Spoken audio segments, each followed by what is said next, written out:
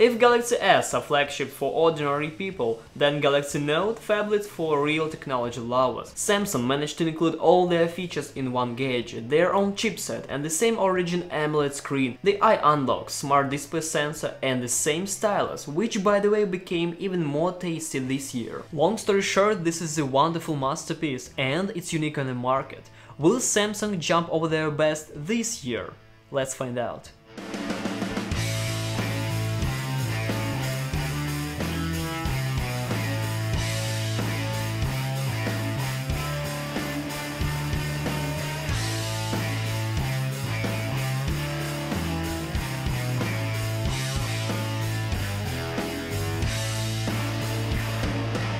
Nowadays, top Samsung devices doesn't change much in appearance, therefore it is necessary to pay attention to the most subtle details. This time the phablet got its chamfering on the metal frame, which disappeared several years ago. Suddenly designers set to emphasize the outline of aluminum elements to the body again, and it turned out to be pretty much fine. The set of cameras is more compact this year, and for some reasons there are people who boils over about that. Frankly speaking, I didn't find anything awful and disgusting in it. I think both camera and scanner are nice. In contrast to the notch madness, Samsung didn't follow the Apple steps and their iPhone 10, but considering they already patented the phone with cutout in the screen, there are good chances that Note 9 is their last smartphone with a flat upper edge. But anyway, notch haters now have one more device in their mind, rejoice people! The slot for SIM cards allows to set either two of these or one SIM card plus some memory extension. Traditionally for Samsung flagship, the phone is waterproof and dustproof according to the IP68 standard. Even the buttons don't fall out and aren't taken out by small force, at least for our pink sample. Now you will definitely know which color might be the best for Note 9.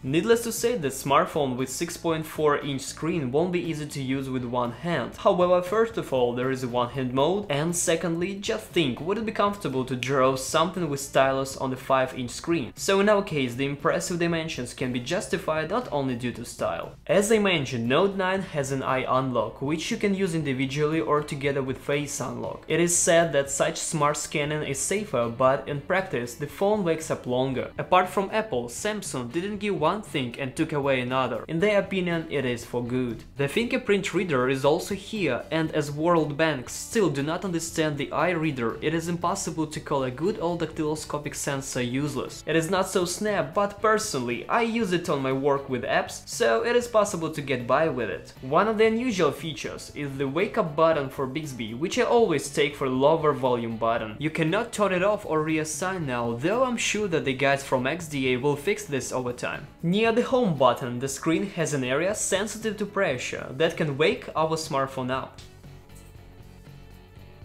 Kinda old school, isn't it? Besides, you can use home button even when it's hidden. For example, in games or during videos, sometimes it can be useful. On the other hand, there is nothing comfortable when the phone is waking up when I try to put it in the pocket. However, I may just criticize too much. And here is the most important and unique thing in the Note series, and in particular Note 9, the S Pen. The stylus got a gigantic number of functions which may take days to cover in details, therefore I will relatively briefly take the bite on each of them. Perhaps the most demanded feature is Notes. I can hardly call it the best option for creation of painting masterpieces, but it's good enough for a quick sketch to explain the idea, especially with such wide range of tools for it. Pleasant fact is that we can create notes without waking the phone, that comes in handy, especially if every second counts. Another one. There are two modes of doing screenshots. First one is simple and fast, second is more fancy. Here you can select the necessary area and film an animation, for example to share a fragment via social network without loading video entirely or forcing people to look for the necessary part in timecode. The fast translator recognizes both words and phrases. In short, works pretty fine. For those with small children, there is coloring that is significantly better than constant cartoons or modern mobile games. And painting on the screen with stylus stylus is far comfortable in car rather than with the felt pens in paper albums. Other feature, unlike in Apple, live messages are saved as animation and you can share them with anyhow as you wish. Next and my favorite is Glance. Any open app turns into a small icon which rolls out when you point at it. Pretty useful if you need to check some things on background. Magnify allows to watch photos with comfort and the small text on websites. The pen app is quite an Instagram for Galaxy Note Club, which proves that it is possible to draw something beautiful even on such small canvas. The features continue. This year's stylus turned out into the wireless controller to go through photos, play and pause videos on YouTube, to lead the presentation with DeX, and the most important and interesting, to control the camera shutter. Galaxy Note 9 interacts with S Pen at the distance up to 10 meters, that is more than enough for group photos via tripod. S Pen works nearly half an hour in a standby mode from its tiny battery. Too many clicks will definitely run the battery down quicker, but in life it doesn't create problems, especially as as it needs less than 40 seconds to charge up. Unfortunately, it is impossible to check it out of a laboratory without taking the stylus apart. I dream that one day the smartphones would charge as quickly, but maybe I want too much, at least for 2018.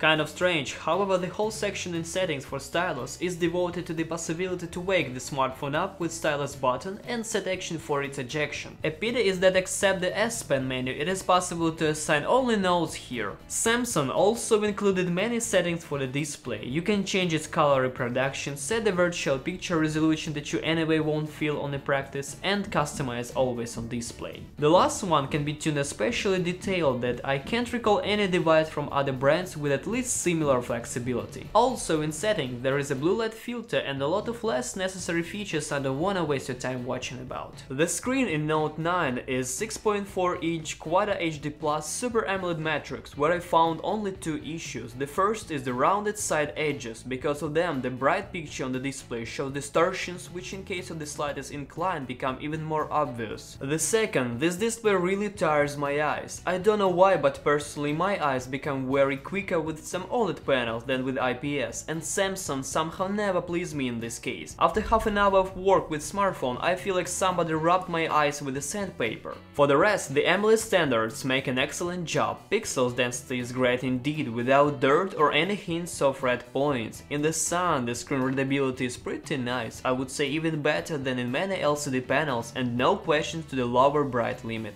On viewing angles everything seems typical, there are small shades of blue and green when you incline the phone, however no floating white balance or brightness cut down. In short, in front of us is a high quality screen which for sure will receive a bunch of awards to make Note 9 better on sale. Similarly, the camera is one of the best in 2018, at least as influencers say, but for me it wasn't so impressive. The main reason for this is processing, which makes the picture kinda plastic and truly not real. Noises are softwarely reduced to their maximum, and in the end the picture always looks like oil painting, and sometimes also loses detail because software makes corrections even in some parts of the screen where noises do not show up at all. On the other hand, the camera has a wide dynamic range, I use HDR only to guarantee nice details. With the help of the narrow aperture for the daylight shooting, images look sharper. For example, the flowers do not have the blurry edges and various artifacts that is so typical for smartphones with f1.8 aperture. The color reproduction is saturated, exposure is almost always brought to the top, but still the white balance is constantly correct. The camera easily deals with a slight front light and copes with aggressive one without problems too. Even under direct sunlight in the lens, the image remains detailed. Not every smartphone can boast with this. In the end the photos turn out to be not ideal but quite good. I say a bit less noise correction and everything would be brilliant.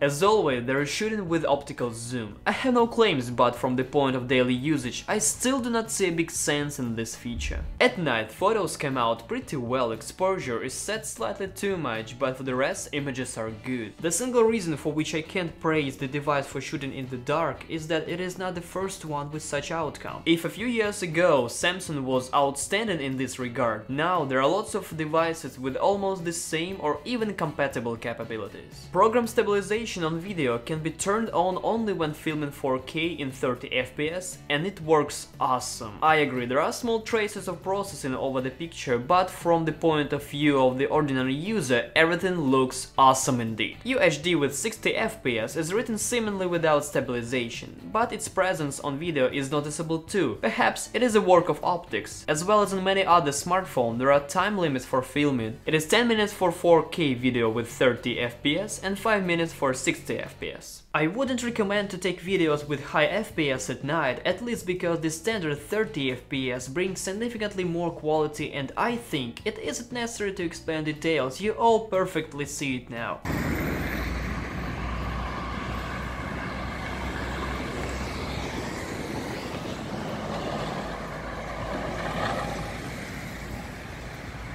The front camera in Note 9 can also boast of broad dynamic range and normal color reproduction and fortunately absence of clarity adjustment and blurring for making you look like a plastic doll. HDR here sometimes comes in handy but it doesn't make the picture oversaturated, at the same time still lifting it to great level. I cannot call night selfies a masterpiece, similarly for the night photos from the main camera. But frankly speaking it is still pretty good result and I hope that in the next generation of Galaxy Note the quality bar bar will jump even higher. The maximum resolution of videos from the front camera is Quadro HD. It is strange that for so many years it wasn't tightened to UHD, just deal with this. The clips are quite good except focus for some reasons loses your face while moving and jumps to a background. There is a portrait mode both in selfie camera and the main one. In the first case everything isn't ideal at all, the outline is cut off vividly, so don't be surprised if your hairstyle appears in the bokeh zone. For the main camera everything is much better Some faults take their places, but less often. Anyway, Samsung never had problems with it. Same as earlier, Note series still doesn't have the new hardware platform. Note 9 consists of the chip from S9 and S9 Plus, therefore you shouldn't wait for any surprises. Exynos 9810 chipset stands for 8-core processor with 4 cores on 2.7 GHz and 4 on 1.8. It is remarkable for the Mali G72 MP18 graphics. There are only two options to buy, 6 gigs of RAM with 128 gigs of storage and for 8 gigs RAM with 512 storage. Whoever said differently, but there are no problems for Samsung in gaming world. As part of this review, we were playing on a smartphone for 2 hours non-stop. Despite weary eyes, numb hands, half discharged and decently heated up smartphone, there were no signs of lags from it. Neither PUBG nor World of Tanks Blitz at maximum settings upset us with slowdowns, even when the amount of action was enough for the graphics score to retard. I understand that benchmark tests grant more scores to Qualcomm chips, but so far I in person have no reason to doubt the performance of the flagship Exynos. In real tasks, the system works snappy, needless to say more. The phablet is equipped with a battery of gigantic capacity for Samsung, 4000 mAh.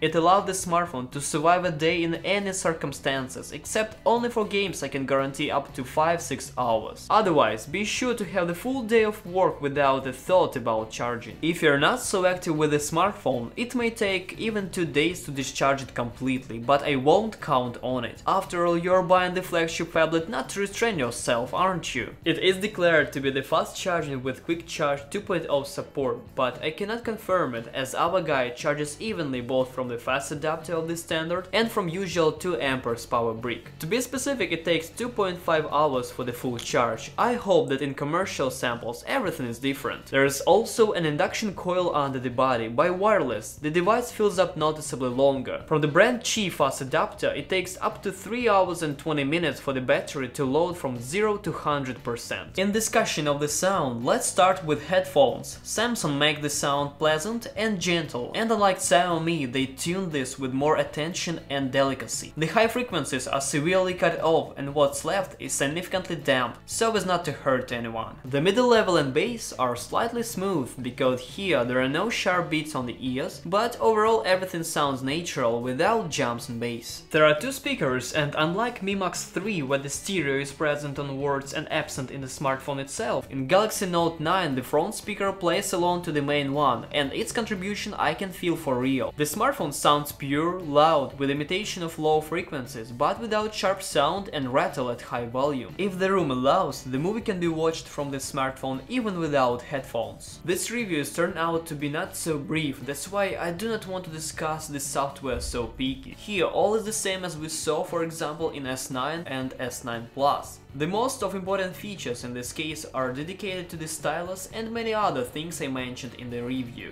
In terms of software, I worry only for one thing. There are too many different means in it, and more than half of which I am sure people will not use at all. Well, it's time to sum up the results. Galaxy Note 9 is not the only smartphone on Exynos 9810. It does not have the largest screen on the planet and not the best camera in the whole world. What am I driving at? As before, the only solid piece in Note series is the S And if it is so important for you, you should definitely buy this smartphone. I'm sure you'll be happy with all the stack of benefits you'll get in addition to the most technologically advanced stylus in the world. In all other cases, take a look at Galaxy S9 Plus, which offers the same set of features and boasts to Note 9 only in regards of the battery life.